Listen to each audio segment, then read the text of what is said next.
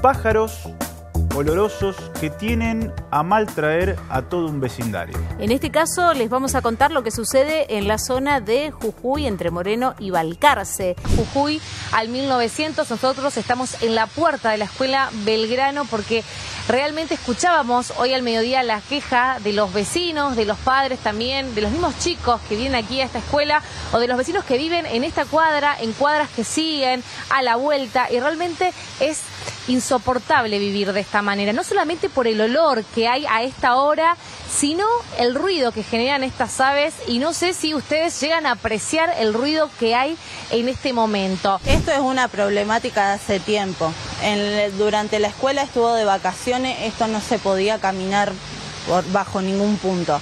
Hoy hubo chicos de la escuela que se descompusieron por el olor. Nosotros que esperamos los padres todos acá, mi nene viene a esta escuela, yo soy egresada de la escuela, nunca jamás pasó esto. Esto es de hace unos años.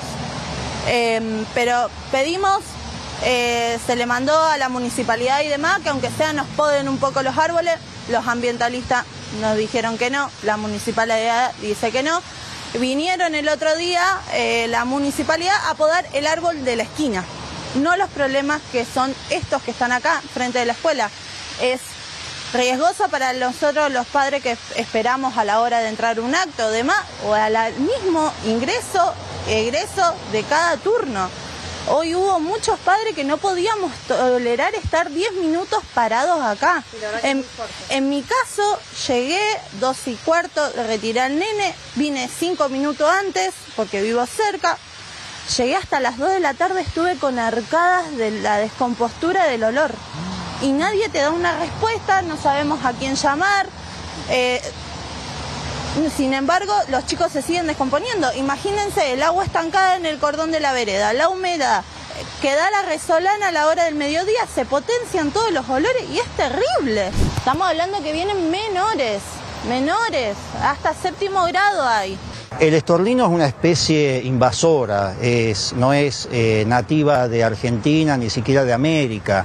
En algún momento alguien, es lo que más eh, se comenta por algunos eh, registros que tenemos, es que alguien decidió traer estorninos para venderlos como fauna exótica, escaparon o no se pudieron vender, no se, mm, se escaparon del lugar o los liberaron directamente y comenzó a colonizar zonas de provincia de Buenos Aires. De ahí empezó a diseminarse por todo el país, llegando hasta nuestra ciudad. Podemos ver estorninos durante todo el año, de hecho, si vas a un parque lo vas a apreciar. Lo que pasa es que en un momento del año se agrupan, eso es previo al otoño. Este es un año también muy especial, un año con eh, marcadamente niño, entonces tenemos otras condiciones de las que veníamos teniendo los últimos, que era de sequía, entonces esto puede variar un poco la conducta de ciertas, de ciertas especies. De hecho, no transmiten enfermedades que sepamos hasta el momento, sí generan una, gran, incomodidad, como también puede llegar a ser la golondrina.